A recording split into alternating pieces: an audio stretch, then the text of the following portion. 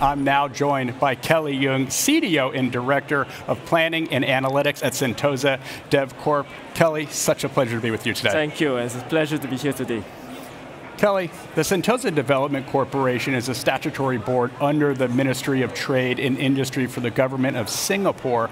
How is your data foundation serving as the backbone in everything Sentosa does? Before I go into that topic, uh, let me give a little bit more into what Sentosa Development Corp does as an organization, right? So we manage 500 hectares of a piece of land in Singapore, southern part of Singapore. So we are the developer operator and promoter of a tourism precinct. Now, when you look at that, in the tourism space, a lot of the data is actually sitting outside of the organization, right? Because we have the hoteliers, we have the attractions players, and we have the F&B operators on the island itself. So to really get a pulse of the island, what we need to do is actually to speak to all our partners and do a data share. Well, that sounds easy, isn't it? But actually, it's a lot more tougher than uh, it seems, right? Because there's a lot of commercial considerations because we are also the landlord, right? So there is certain level of commercial sensitivity along those lines as well. But I think really when we look at the business intent and the common shared purpose and objective, all the organizations and the partners on the island are more than willing to share the data in return for a island level insights. Now that really forms the foundation of what we do at Sentosa. It's really about driving visitorship and actually marketing to the right segment of the people. Right. Really appreciate that perspective. Kelly, the topic of the hour remains AI.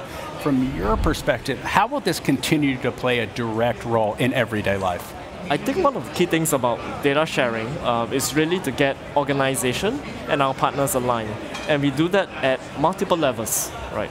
Starting from the leadership.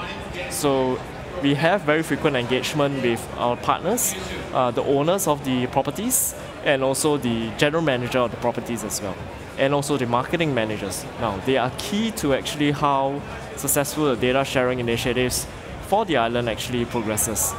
So through that conversation, very frank conversations, right? Uh, some can be very hard conversations as well, right? Asking for insights, asking for data, right? Even if for a certain season, right, visitors are not coming onto the island, right? We wanted to know why, right?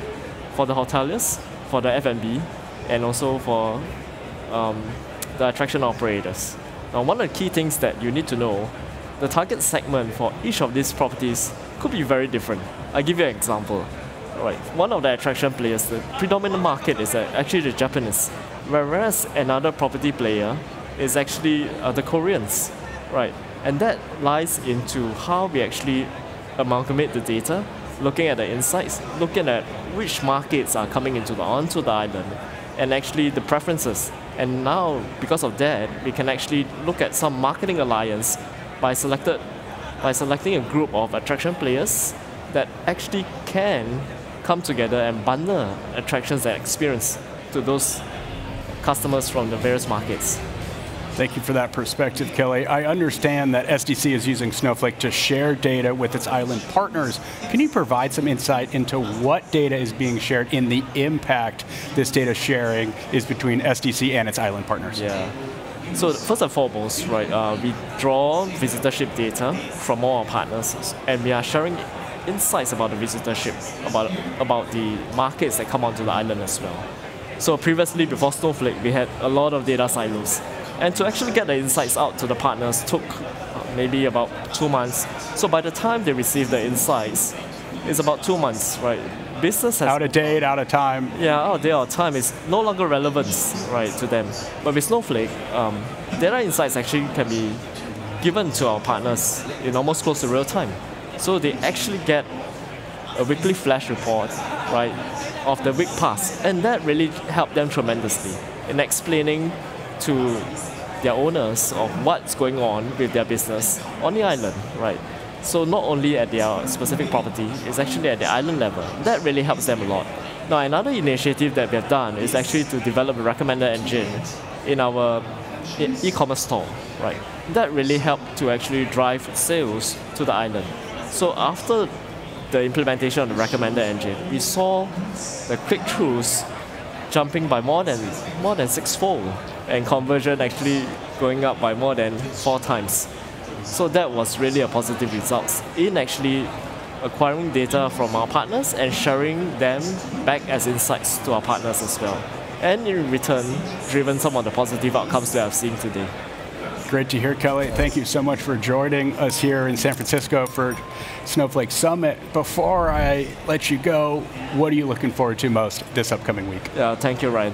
I think one of the key things that we are all looking at is generative AI. Right, there's a lot of hype about it. I think the key thing is actually how can we make it a reality. So we have some initial uh, success, but we are looking to productionize that yeah, in time to come. Kelly, such a pleasure having you on Data Cloud now. Thank, Thank you, you so much for joining me. Thank you, Ryan. Pleasure. And for the audience watching, I'm Ryan Green with Data Cloud Now. We'll see you soon.